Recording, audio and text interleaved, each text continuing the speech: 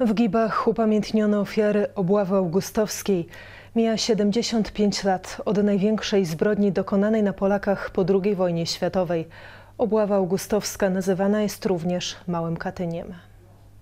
Obchody rozpoczęły się przed południem mszą świętą obok kościoła w Gibach. Podczas homilii ksiądz biskup Adrian Galbas, biskup pomocniczy diecezji ełckiej, mówił, że należy modlić się za ofiarę obławy, ale także za tych, którzy wymordowali naszych dzielnych braci. Wynika to z naszego chrześcijańskiego obowiązku.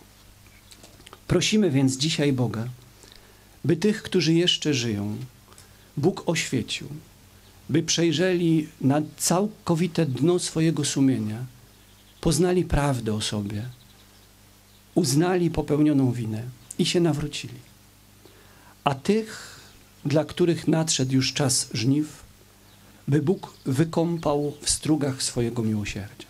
Po Eucharystii zgromadzeni przeszli przed wzgórze krzyży. Na miejscu symbolizującym pochówek zaginionych postawiono dziesięciometrowy krzyż z napisem Zginęli, bo byli Polakami. Na kamiennych tablicach wyryto nazwiska zaginionych. Na wzgórzu stoi od niedawna 640 dębowych krzyży. 12 lipca 1945 roku oddziały NKWD i Smiersz rozpoczęły na Suwalszczyźnie operację wymierzoną w działaczy podziemia niepodległościowego. W wyniku jej aresztowano kilka tysięcy ludzi.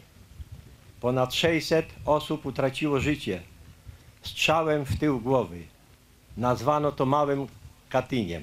Przypomniał major Marian Wasilewski, prezes Stowarzyszenia Jedność w Prawdzie. Od ponad 25 lat w Gibach podczas rocznicowych uroczystości wspomina się tamte wydarzenia i poległych Polaków. Bitwa o pamięć jest trudna, a o prawdę jeszcze trudniejsza, bo wciąż rzeczywiście nie mamy wiedzy o tym, gdzie spoczywają doczesne szczątki ofiar obławy.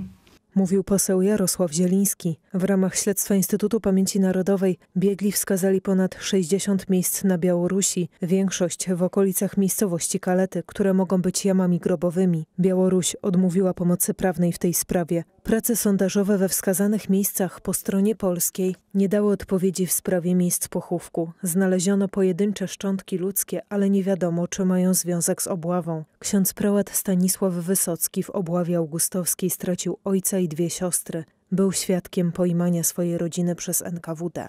My, rodziny najbliższych zamęczonych i zamordowanych, przeżywamy nadal traumy z powodu dotychczas nieodkrytej prawdy o dokonanym ludobójstwie. Od lat śledztwo w sprawie obławy prowadzi białostocki oddział IPN-u. O wyjaśnienie zbrodni zabiegają również Obywatelski Komitet Poszukiwań Ofiar Mieszkańców Suwalszczyzny zaginionych w lipcu 1945 roku oraz Związek Pamięci Ofiar Obławy Augustowskiej, a także wielu historyków i osoby prywatne. Niech tej miłości do ojczyzny, do bliskich nie zabraknie nam także w kolejnych pokoleniach, tak aby za kilka, kilkanaście, kilkadziesiąt lat także uroczystości tu się odbywały i aby ta pamięć i ta miłość, nie tylko do bliskich, ale miłość do ojczyzny, aby kwitła.